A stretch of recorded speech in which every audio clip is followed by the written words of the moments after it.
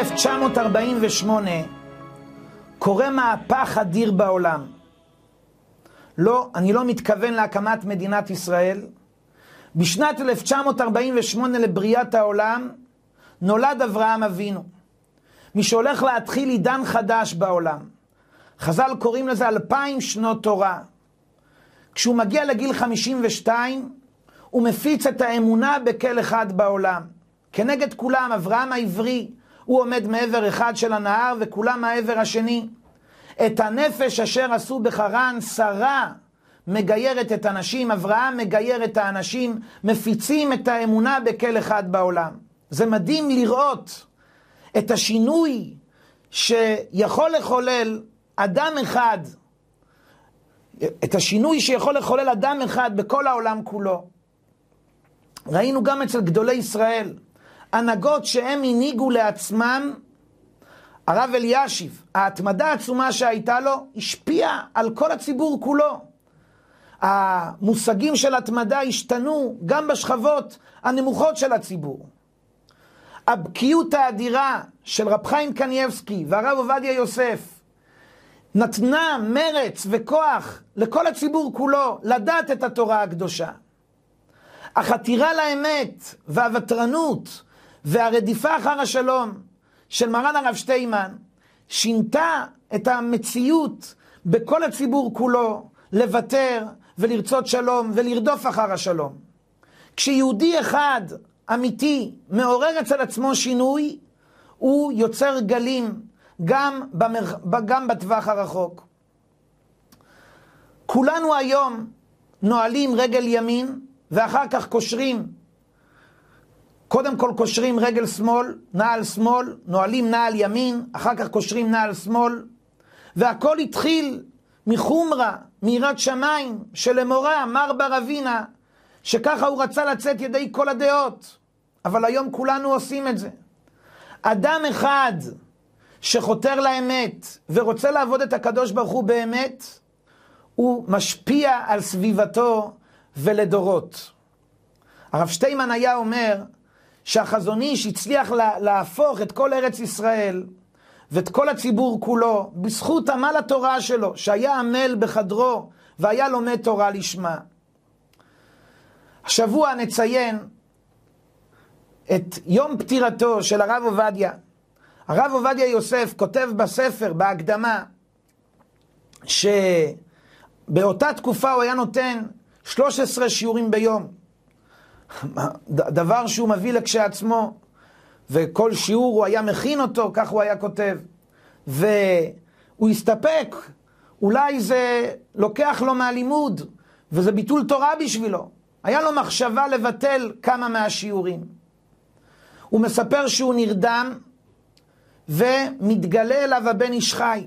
והבן איש חי פותח את אחד הספרים, ומסתכל, ואומר לו, יפה כתבת כאן, יפה כתבת כאן, אבל במה שאתה מסתפק בעניין השיעורים, אל תבטל.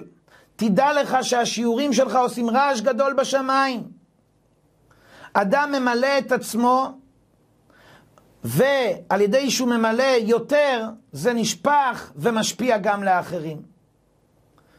אבל אם היינו רוצים לתאר מיהו אברהם אבינו, היינו אומרים איש האמונה, כמו שהרמב"ם כותב, כשנגמל איתן זה התחיל לשוטט בעולם, והתחיל לחקור על כל דבר, מי ברא, מי עשה, כמו שחז"ל מתארים, משל לאדם שהיה הולך ממקום למקום ומצא בירה, בית גדול, וראה את הבירה דולקת, ראה שם אור דלוק. שאל מי מנהיג את הבירה, מי הבעל הבית, האור לא נדלק לבד, הציץ עליו בעל הבירה. אברהם אבינו חוקר, מגלה את הקדוש ברוך הוא, הקדוש ברוך הוא מתגלה אליו. אברהם אבינו לכאורה התואר שלו זה איש האמונה, האיש שפרסם את האמונה בכל אחד בעולם. אבל כשמסתכלים בכתובים, המידה היותר ניכרת של אברהם אבינו זו מידת החסד. תיתן אמת ליעקב, חסד לאברהם.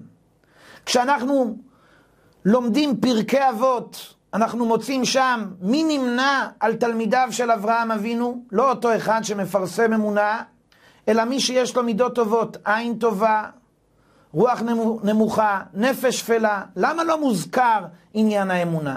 אני רוצה לשאול את זה מכיוון אחר. איך יכול להיות שדור שלם לא שואל את השאלה מי הדליק את האור בחדר? איך יכול להיות שדור שלם לא שואל את השאלה מי מנהיג את הבירה? שאלה פשוטה. האור לא נדלק לבד. איך יכול להיות שרק אברהם אבינו הוא זה ששואל את השאלה? התשובה לזה, שאדם שואל שאלות שהוא אוהב את התשובות. אבל כשהתשובות לא מוצאות חן בעיניו, אז הוא מעדיף לגבור את השאלות. דור שלם יכל להתעורר בשאלה הפשוטה, אבל העדיפו להתעלם מהשאלה ולגבב תירוצי סרק, כי הם לא אהבו את התשובה. הם לא רצו להשתעבד לכל אחד. מה גרם לאברהם אבינו לרצות להשתעבד? זה מידת החסד של אברהם אבינו. מידת החסד של אברהם אבינו היא זו שגרמה לרצות לחפש ולחקור אחר האמת ולהשתעבד למי שחייבים לו הכרת הטוב שהוא ברא את העולם. אחד הסופרים, אלדוס אקסלי, נכד של מי שהיה מכונה הבולדוג של דרווין, מי שהגן, גם כשמצאו חורים בתורתו של דרווין, שאדם יצא מהקוף, מצאו כבר חורים בזה, הוא הגן על זה בכל תוקף. הנכד שלו כותב לפני מותו, הוא כתב מאמר, הכותרת של המאמר, וידויו של כופר. הוא כותב שם, כל מה שהגענו על, ה, על התיאוריה הזאת, שלעולם אין משמעות, כי זה התיר לנו את הדרך שלנו, ובעצם התיר לנו לא להתחייב לשום דרך מוסרית. זה היה נוח לנו והיה נוח לדור כולו. כשאדם לא רוצה את התשובה, אז הוא גם לא ישאל את השאלה. אבל אני רוצה לשאול שאלה נוספת. שאלה שהראשונים שואלים. כשהקדוש ברוך הוא מתגלה לנוח, התורה מקדימה מי זה נוח. למה הקדוש ברוך הוא בחר בו? אותו דבר עם משה. למה אצל אברהם אבינו, ללא שום הקדמה, מי הוא אברהם? התורה פותחת בציווי, בניסיון הראשון שהקדוש ברוך הוא מנסה את אברהם, לך לך מארצך וממולדתך ומבית אביך אל הארץ אשר הרקע. מי זה אברהם? למה השם בחר בו? למה התורה לא מעריכה בדבר הזה? כך שואל הרמב"ן, וכך שואלים עוד ראשונים. השנה התגלה לי תירוץ נפלא. כתוב במהר"ל, בדרך החיים של המהר"ל, שהתורה לא כתבה למה הקדוש ברוך הוא בחר באברהם, כי הבחירה באברהם הייתה ללא תלות וללא תנאי וללא טעם. זו בחירה בעצם, זו בחירה כללית.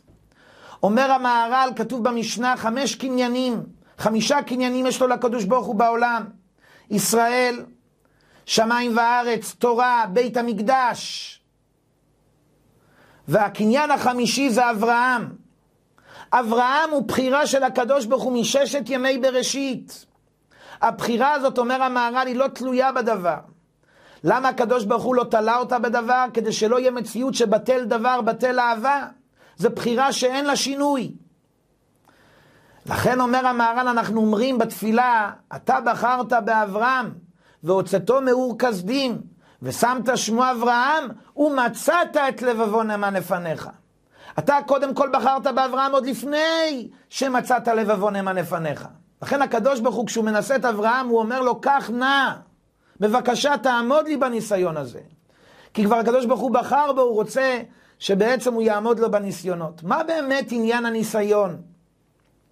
חז"ל מביאים משל, שהקדוש ברוך הוא מנסה דווקא את הצדיק, שהוא יודע שהוא יעמוד לו בניסיון. השם צדיק יבחן. חז"ל מביאים משל לפשתני, יש לו פשתן גרוע, צריכים לדפוק על הפשתן כדי לרכך אותו. את הפשתן הגרוע הוא לא דופק עליו, הוא יודע שזה רק יהרוס אותו, עליו הוא לא דופק. על מי הוא דופק? על הפשתן הטוב שהדפיקה תרכך אותו, עליו הוא דופק. הקדוש ברוך הוא מנסה את אברהם אבינו כדי לרומם אותו. הניסיון מלשון שא נס, מלשון נס להתנוסס. הניסיון מרומם את האדם. אחרי שהקדוש ברוך הוא יודע שהאדם ראוי, האדם כבר שלם, הניסיון בא והוא המכה בפטיש שמרומם אותו לדרגה הגבוהה. הקדוש ברוך הוא מנסה את אברהם אבינו, הקדוש ברוך הוא מנסה את אברהם אבינו, כי אברהם אבינו הוא בעצם האבא של כל האומה, וכל מה שבעצם יוצא אצלו מן הכוח אל הפועל, נשרש בנו, אומר רב חיים מוולוז'ין, שלדורות, כיוון שאברהם אבינו מסר את עצמו על קדושת השם, אצל יהודי זה נהיה קל למסור את עצמו על קדושת השם, כמו שראינו כל הדורות. וזה יהודי צריך להחדיר בעצמו, שכל ניסיון עניינו לרומם, כל ניסיון עניינו להעלות אותך בדרגה. ועל זה אנחנו אומרים בפסוק, על כפיים יישאונך, פן תיגוף באבן רגליך. המלאכים ירימו אותך כדי שלא תנגוף באבן. ופה מגיע השואל ושואל, למה צריך מלאכים כדי להרים שלא תנגוף באבן? שהקדוש ברוך הוא פשוט יסיר את האבן. התשובה היא לאבן יש מטרה. המטרה היא על כפיים יישאונך. על ידי שיש אבן ואתה מתגבר על הניסיון, אתה מתרומם. שנזכה לעמוד בניסיון. אנחנו מבקשים מהקדוש ברוך הוא, אל תביאנו לידי ניסיון. אבל כשהקדוש ברוך הוא בוחן אותנו, שנזכה לעמוד בזה ולהתרומם ולהיות בבחינת נס להתנוסס, שעל ידי הניסיון נגביה מדרגה לדרגה. שבת שלום ומבורך לכולם.